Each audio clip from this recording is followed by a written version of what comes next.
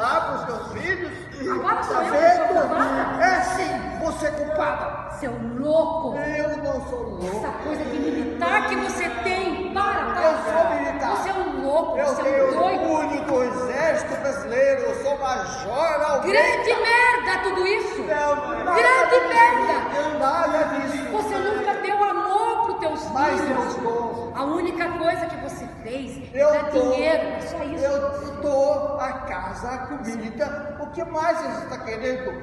Veja só o que, que resultou a sua criação. A Veja. sua? A Sim, minha? foi você que criou. Então, ai, A não, vem com nossa. essa. Não vem com essa. Calma, meu filho. Nós vamos resolver isso em família.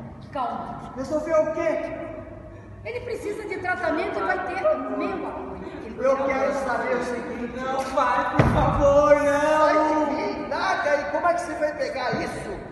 Você esteve no meretrício, é? Não. Você esteve com os viados por aí? O que e é agora vem aqui ofender a minha dignidade, a minha casa. Eu não quero saber nada disso. Você é um louco! Eu não sou louco. Não, ajuda Desgraçado, lá. eu te odeio! Eu te odeio!